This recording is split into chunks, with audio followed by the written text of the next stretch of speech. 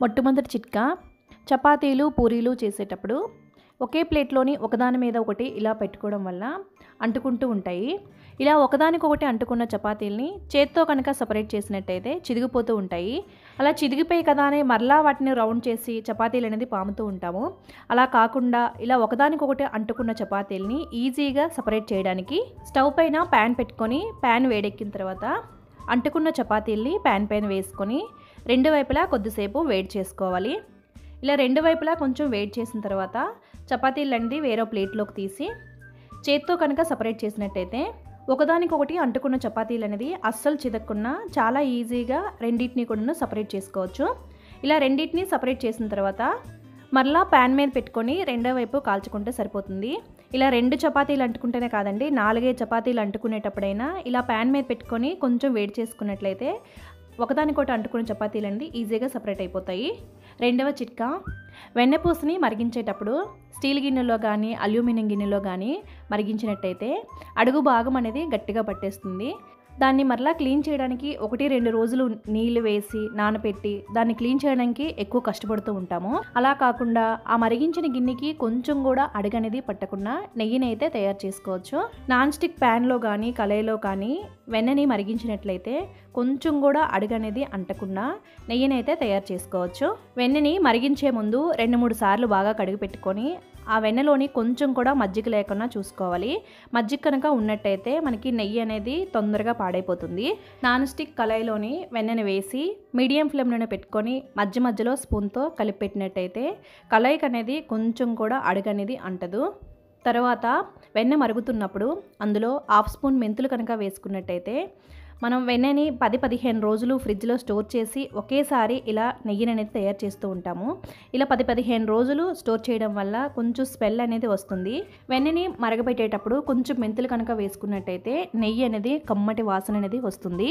అంతేకాకుండా మెంతులు వేయడం వల్ల నెయ్యి కూడాను ఎక్కువ రోజులు నిలవ ఉంటుంది. ఈ విధంగా నెయ్యిని మరిగించుకున్న తర్వాత వెంటనే స్టవ్ ఆఫ్ చేసేసి కళాయి అనేది పక్కన పెట్టుకోవాలి. లేదు అంటే అడుగు అనేది ఇంకా మాడిపోతుంది. కళాయిలోని నెయ్యి అనేది కొంచెం గోరువెచ్చగా ఉండేటప్పుడే వేరే దాంట్లోకి ట్రాన్స్ఫర్ చేసుకోవాలి. ప్లాస్టిక్ డబ్బాలో కన్నాను స్టీల్ డబ్బాలో కానీ గాసేసాలో కానీ నెయ్యిని స్టోర్ చేసినట్టయితే ఎక్కువ రోజులు పాడవకుండా నిలవ ఉంటుంది.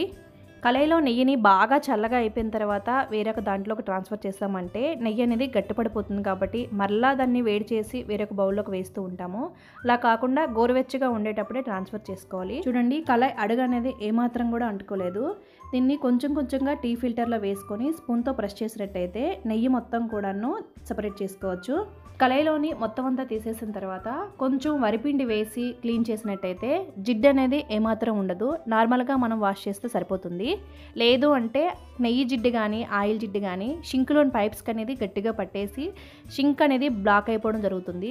ఎప్పుడైనా నెయ్యి గిన్నెలు కానీ ఆయిల్ బాగా పట్టేసిన గిన్నెలు కానీ ఉంటే ఇలా కొంచెం వరిపిండి వేసి మొత్తం జిడ్డంతా తీసేసిన తర్వాత క్లీన్ చేస్తే మనకి షింక్ పైపులు ఎప్పుడు కూడా బ్లాక్ అవ్వవు. ఇప్పుడు ఈ వరిపిండిని సపరేట్ చేసేసి ఇప్పుడు మనం ఈ కళాయిని నార్మల్గా క్లీన్ చేస్తే సరిపోతుంది.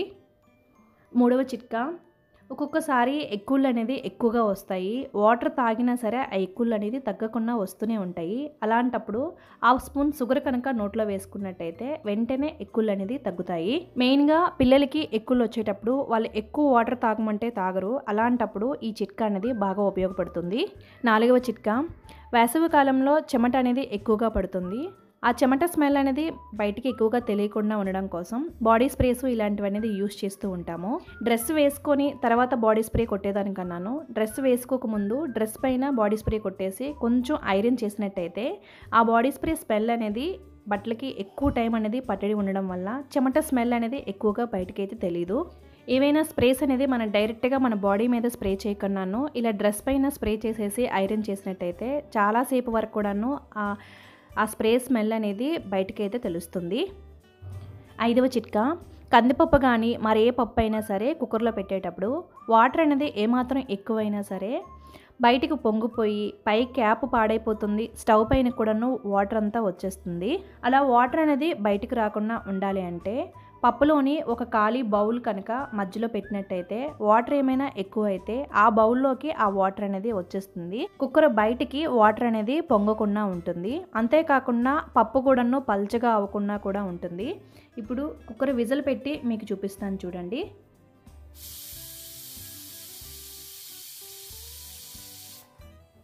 చూసారు కదా పప్పు అనేది కొంచెం కూడా బయటికి రాలేదు. వాటర్ అనేది ఇంత ఎక్కువైతే అయ్యింది. ఎక్కువైన వాటర్ అంతా కూడాను ఇలా మనం పెట్టుకున్న ఆ బౌల్లోకి అయితే వచ్చేస్తుంది. ఆ బౌల్ కనుక పెట్టకపోతే ఆ వాటర్ అంతా కూడాను బయటికే వస్తుంది. పప్పు కూడాను పల్చగా అవ్వకుండా కరెక్ట్గా అయితే ఉంది. ముద్దపప్పు ఇలాంటివి చేసేటప్పుడు పప్పు అనేది ఈ క్వాంటిటీలోనే ఉండాలి.